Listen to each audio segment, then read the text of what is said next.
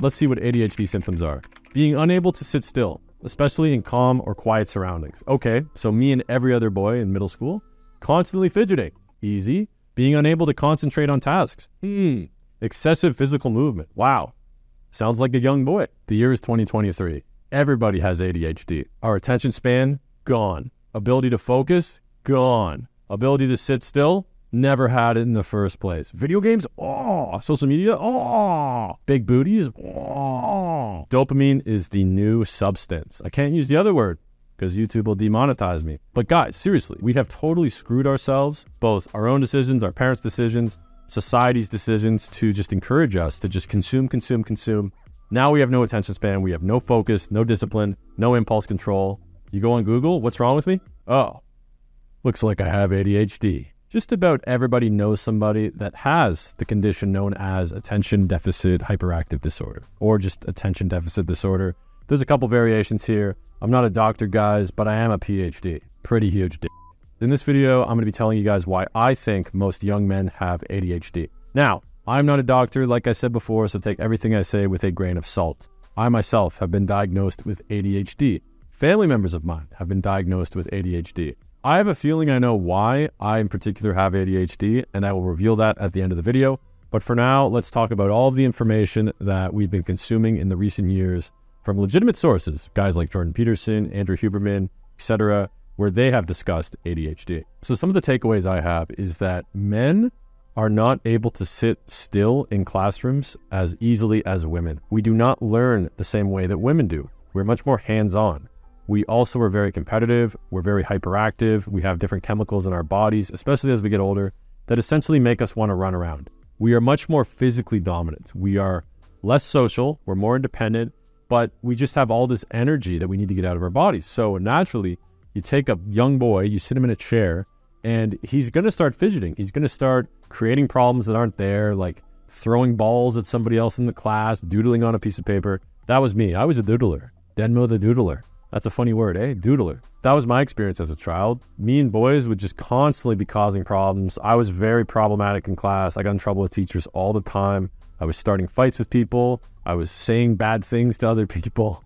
I was disagreeing with my teacher. But here's the kicker, guys. I was actually a really good student. I would put way less effort in than anybody else, and I would just magically get good marks. It was actually kind of awesome. However, there were certain subjects I just didn't care about, no matter what. You could put a gun to my head, and I probably would not perform as well on this particular subject. I just wasn't the best at like engineering, physics. I just didn't care. I just didn't want to do it. But that's besides the point. What I'm getting at is that young boys are just meant to run around. We are physical creatures. We need to do stuff. We can't sit still all day.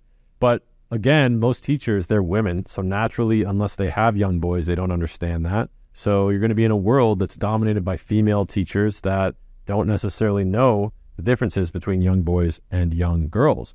Or at the very least, they don't act or treat them differently because the education system is meant for people to just sit still and listen and nod their head. And that's just not a thing that young boys do naturally, which is why so many young men, disproportionately young men, are the ones diagnosed with all these issues, including issues on the spectrum, such as autism, the TISMs, good old TISMs, and ADHD. We also know that most women go to university and they complete their degrees much more often than men do and they actually have better grades, better marks, and better offers in university. Now, that's the majority. That's like the middle class. The highest functioning people, intelligence wise, are usually still men.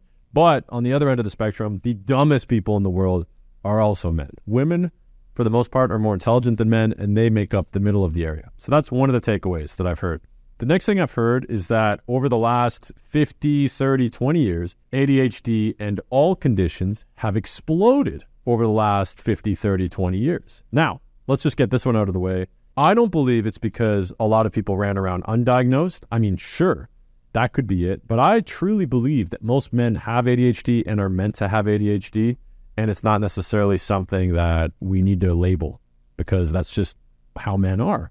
The reason it's especially becoming like this as we get into the 2010s, 2020s, and so on is because of social media, smartphones, online videos, online information, video games, TV. I mean, we are stimulated 24 7.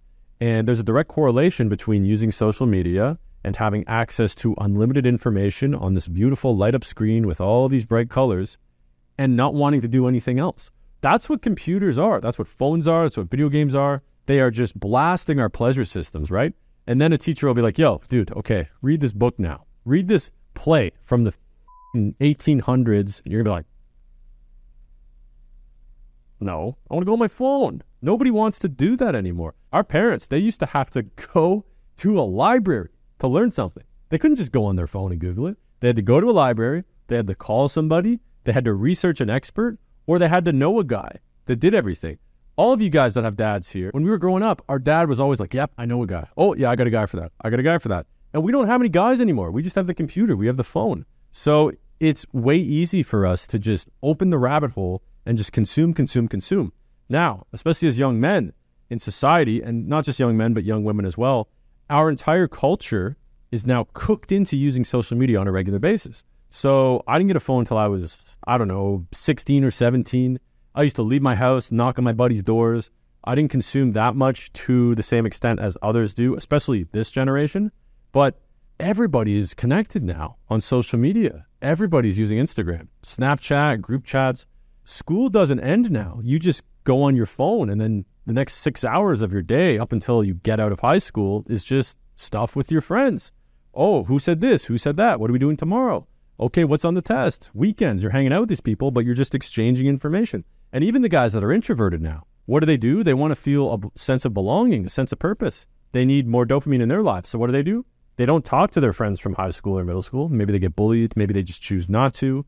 And they go on the computer. They play video games. They go on Reddit. They join all these online communities. And now they feel fulfilled like they're around other people because they see all those little heads and they're like, oh, I guess I'm in a room with 50 people now. But it's the exact same thing. We are just so addicted because it's so good. It just feels so good. We can't help it, right?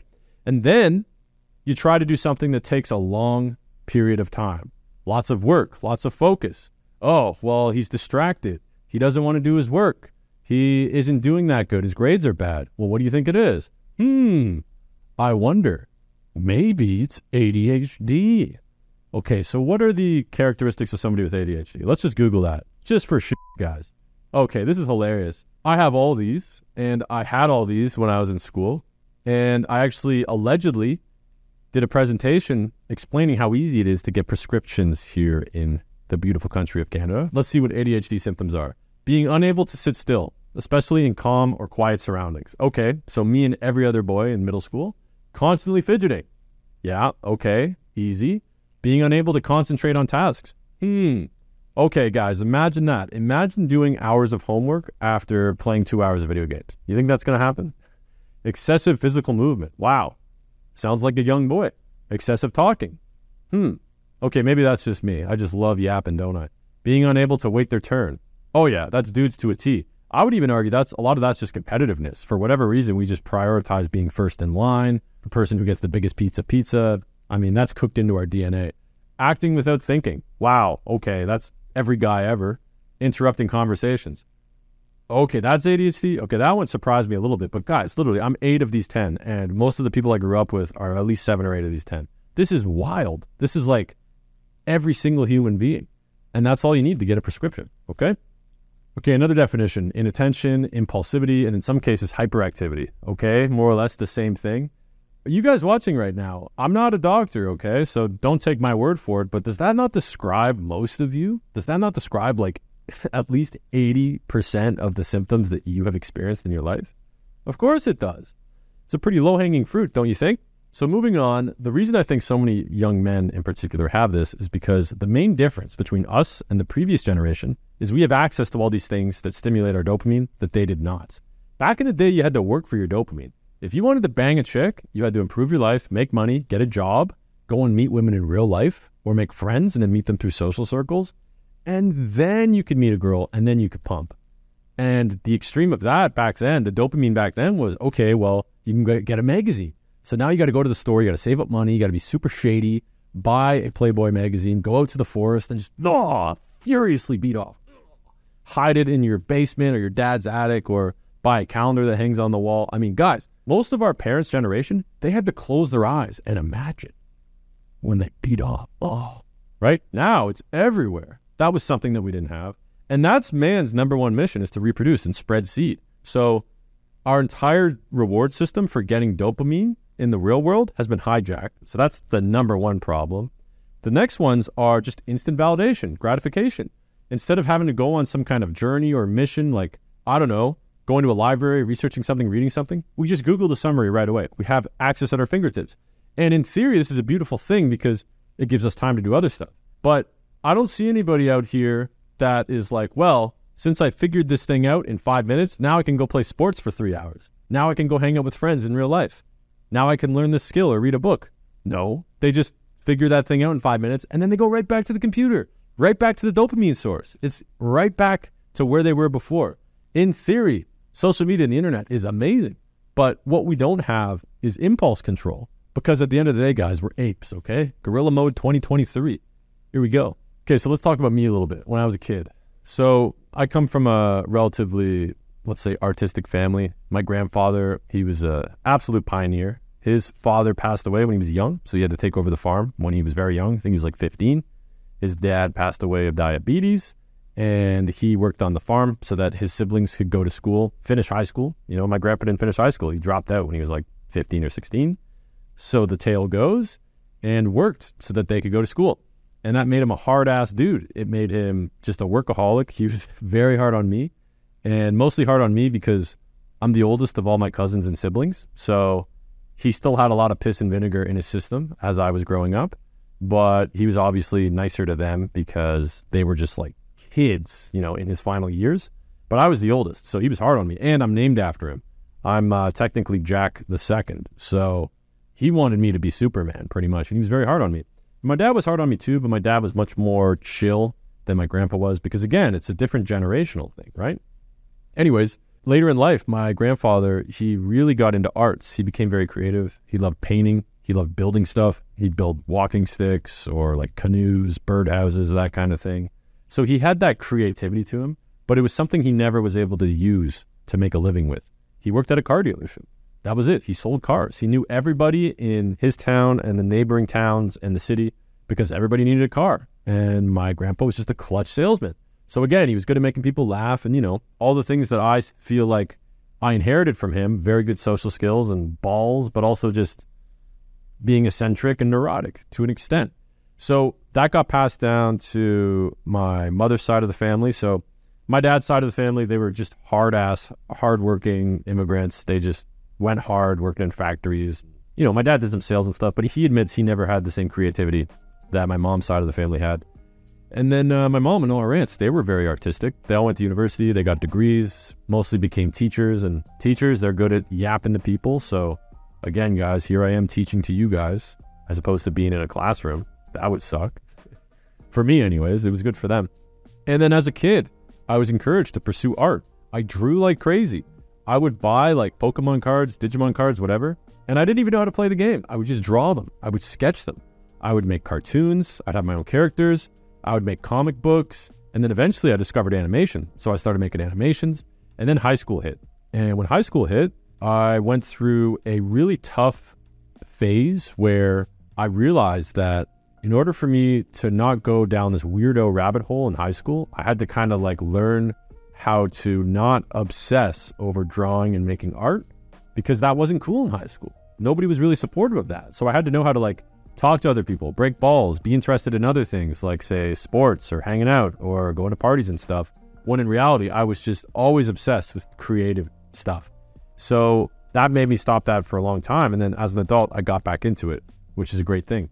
But I believe the reason that I was able to have that passion. And to this day, I have the passion of making movies in Hollywood, like acting, script writing, comedy stuff, is because that is what I was exposed to when I was young and my brain was still developing. All that gray matter just put in so many hours as a kid creating stuff that I'm really good at it. And I love doing it. And when you love doing something, you get good at it. And when you get good at something, you love doing it. So that's why I am the way I am. But at the same time, guys, there's a sense of ADHD to that because I was always left to my own devices. I was always able to socialize with people enough that I could get them to do stuff for me. I was really good at talking to teachers who would give me animation programs from the school of computers.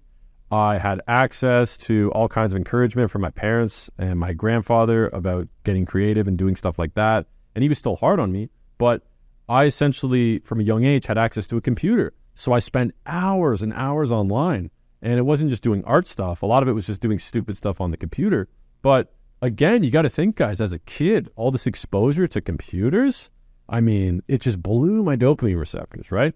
So now I become an adult and I have to sit down and I have to work really hard on stuff. And it caught me off guard. I'm like, oh, this is stupid. Like, wh- why am I reading these books? Why am I going to school for this when I could just work for myself? And maybe I inherited somewhat of a good IQ or a little bit more craziness than the average person, but I figured it out. But I don't think most people figure that out. I think most people, they get stuck in that dopamine loop. And it's mostly because the amount of hours and time they put in on social media, phones, and internet and video games when their brain is still developing. And the reason I bring this up as such an important point is that if I was born, let's say, instead of in the 90s, if I was born in the 2000s, I feel like I'd be a mess right now because I don't think that my young, immature brain would be able to tolerate smartphones, social media, and internet access. I am terrified about kids that are getting phones and social media accounts when they're like 10 to 15 years old. Of course, they're going to have ADHD. Why would you want to do anything when your brain just explodes with dopamine at such a young age? I fortunately didn't have the social media or smartphone thing till at least when I was 18 or 19. So that prevented me from going even deeper down the ADHD rabbit hole, in my opinion. And I will say this I believe our parents didn't really know any better because they didn't even know what that was like, right? Like sometimes I'll go to a restaurant and I'm eating there and I see parents with their kids, and their kids are just on their phones and tablets the whole time. And I'm like, oh man, like I would never let my kid do that. I mean, I don't have kids yet, but I would assume that's very bad for them. But they don't know any better. They probably look at social media the same way an adult looks at a rat or a mouse. We're just like, oh, it's a rat or a mouse, you know, just kill it, whatever. It's, you know, it's not that much of a danger to us. But when you're a kid and you see a mouse, you're going to scream, you're going to run, you're going to get your parents to be like, oh my God, there's a mouse mouse in the house. I remember one time we had a bat stuck in our attic and we all freaked out. And me and my dad got baseball bats and just destroyed it. I just clobbered it across my sister's room. That analogy wasn't the best, guys, but the point I'm making is as an adult with a mature brain, you can be like, oh, that's not even that big a deal. So I think my theory is my parents and parents that are probably in the age range of like, I don't know, let's say 35 to 50, they missed the era they just narrowly missed it the era of internet access, social media, and video games and stuff. So they don't know how powerful it is to a young brain. They just go, oh, well, I didn't have that. I think it's cool. It's good. I guess everybody's doing that now. So as you were. Meanwhile, though, their brain, their gray matter, their attention span was preserved until they were at least 20, 25 years old. Like most parents that are in their 40s now, I imagine they didn't get phones till they were already graduated high school and college. They'd already consistently worked and gone without immediate gratification. They had matured fully and then they got phones. So it's like they were ready for it without even realizing it. But we're not ready because we're giving it to kids at such a young age. So because of that, I feel like our parents don't understand it, but also they don't understand how vulnerable we are and they don't necessarily get it. So that's why I believe so many older people, particularly like grandparents' age, are so hard on young people because they never grew up with that. They don't get it. They're just like, I just used to work really hard. It wasn't about what I wanted to do, what I was passionate about doing. I just worked hard. And that's all they knew. And they were good at it because they didn't have any other choice. And then they matured as an adult without being exposed to all these dopamine activities. That's why our grandparents stayed together. That's why they don't have ADHD. Or if they did, they just learned to deal with it. And then they made our parents. And then here we are. And now they look at us and they're like, what is wrong with these kids? They don't want to work hard anymore. Well, of course we don't want to work hard anymore because our brains have been malnourished by the positive side effects of delayed gratification, focusing, and working without dopamine. And that is why I believe most men have ADHD. The next thing I'm going to get to is ease of prescription. So, like I said, I live in Canada. It's relatively easy to get an ADHD prescription. All you have to do is go in, say, hey, I have this. They'll probably start you on some kind of small dosage. And then over time, you just keep telling them what they want to hear, or rather, what you actually feel. You know, disclaimer, just saying that. And then you slowly but surely try new things, higher dosage. Next thing you know, you're just used to taking that all the time. And here's the kicker these people take all these and then they do the same thing. They go on their phone, they play video games. Now, the problem is, I mean, there aren't necessarily long term studies that clearly define this, but their base level requirement, attention span, requires a lot more dopamine, or at the very least, them to be on their medication. And when they go without it, that's very dangerous because now your body might not naturally produce it. So, this is something that's going to definitely be researched, and conclusive results may come out in the next 10 to 15 years. But what I'm saying is, certain medications may be frying our brains without us even realizing it. The next thing is that the incentive of finishing appointments early by the doctors is what leads to less interest or attention being given to people that are having issues. For example, here in Canada, allegedly, doctors receive performance bonuses when they finish meetings and appointments quicker. So if they recommend a prescription to somebody, they can't get a kickback off that. They don't get a commission for every benzo they give somebody. However, they do get a performance bonus when they're able to manage more clients, more customers, more patients in a shorter amount of time. So if you can see 100 people versus 50 people, then you will make more money. And because of that, appointments are straight to the point. I don't know where you guys live, but a lot of the time doctors they do phone appointments now. So that way it saves you the time of going in, sitting in the lobby, and naturally when you sit in front of somebody, it's much easier for you to open up emotionally, for you to take more of their time, for them to really listen to what you're saying. So it's harder for them to get you out of the office. But if they just call you, you don't have that face to face interaction. It's just over the phone. So you can kind of talk over each other. Okay, here's what we're going to do. You can remain very stoic and to the point and just tell the person that's calling, hey, okay, well, we're going to try this, right? Because of that, doctors are making mostly phone calls. And somebody calls, they're like, hey, this is the problem I have. I think I have this, I have that. And they go, okay, well, here's what we're going to do. We're going to put you on this, we're going to put you on that. And then the appointment is like very structured. It's like a sales script, a framework, if you will. And it's usually over in like two to five minutes. I've even noticed this myself when I call my doctor about like, hey, I want to get a blood test to get like my testosterone levels checked or something. The phone call's done within 60 seconds. Before you'd have to make an appointment, drive over there and talk to him for 10 to 15 minutes. Now it's like, okay, well, here's what we're going to do. Book, book, book, done. So in that regard, it's good. But the problem is, I think a lot of the nuance of what people are truly needing to improve on, i.e., exercise, restraints, impulse control, healthy diets, parents that are putting more attention towards their children and not rewarding bad behaviors and looking for an easy fix, all of that is lost over the phone when a doctor just rapid fire prescribes you stuff. So that could be different whatever country you're in, but that's my perception of it in Canada. There's goods and there's bads and there's uglies but that is one of the other causes as well. The last thing is that a lot of people are just in pain. They don't know what they want to do. They're confused. Their dopamine receptors are just pooched. And these prescriptions that they give out actually help some people because the way they work is they make effort feel good. That's the best way I could describe what it's like to be on some kind of stimulant. A minor example of this would be something like coffee. Now, some of you guys, you get anxiety from drinking coffee. But for those of you that don't, when you drink a coffee, you get way more energetic. Dopamine gets released in your body. You're much more focused, alert. You're not as tired, and you're able to complete more work. So imagine if you had a coffee that lasted anywhere from six to eight hours. And then you took that every day, and you're like, you know what? This coffee's good, but what if it was like two shots of coffee? What if it was like a double espresso? That's kind of the idea with these. They're stimulants and they make you get more work done. So I'm curious for those of you watching right now that have gone on some kind of ADHD medication, drop a comment below and let us know the effects you had. Because some people, when they do go on it, they go, Whoa, this is too much. This is intense for me. Others, they're like, Oh my God, all of a sudden, the sun has parted the clouds and I'm getting hit with sun rays, right? It just clicks. But is that because your family was predispositioned to something that technically we can't test for? You know, like a lot of prescriptions, we don't actually know how they work. So you can't really measure a lot of the things that go on in our brain. So that kind of science is very sketchy and iffy. And because of that, a lot of people think ADHD isn't even real.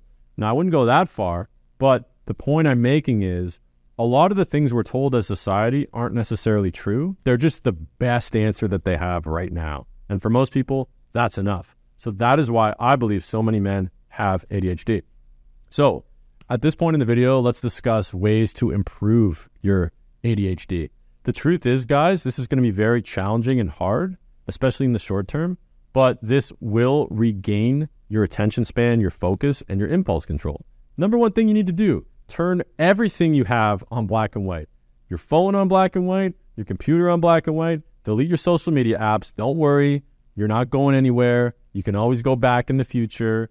The world isn't going to burn down. You're not going to get bullied if you stop going on Instagram for a couple days, all right? Put your phone on do not disturb. That way you don't get notifications coming in to constantly take your attention.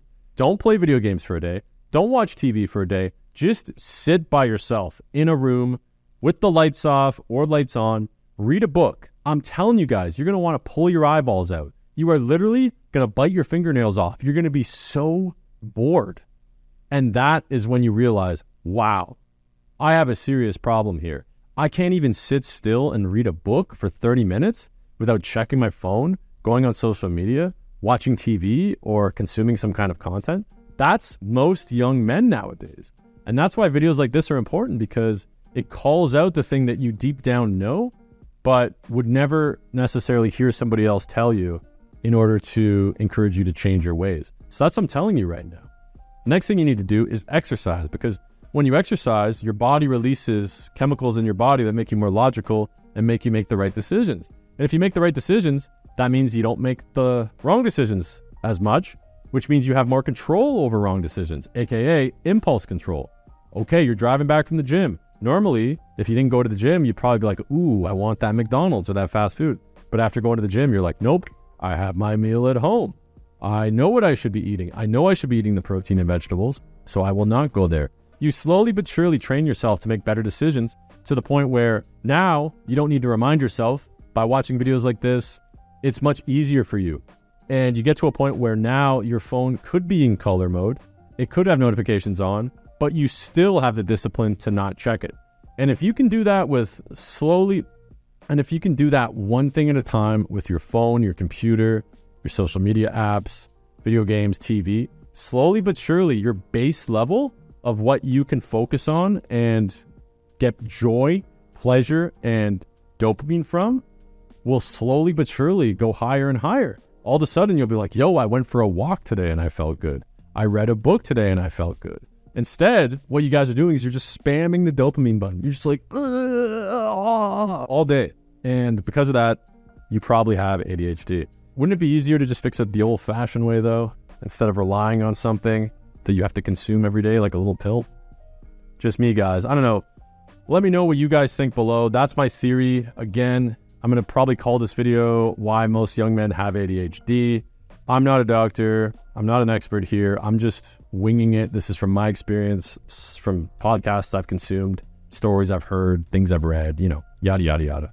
So let me know what your guys' thoughts are. If you do want to talk to other people about what you're going through, get on a self improvement journey, Monk Mode 2023. Join our Discord. Links in the description below. Top pinned comments. I'll see you guys in there. And next video to watch after this is right there.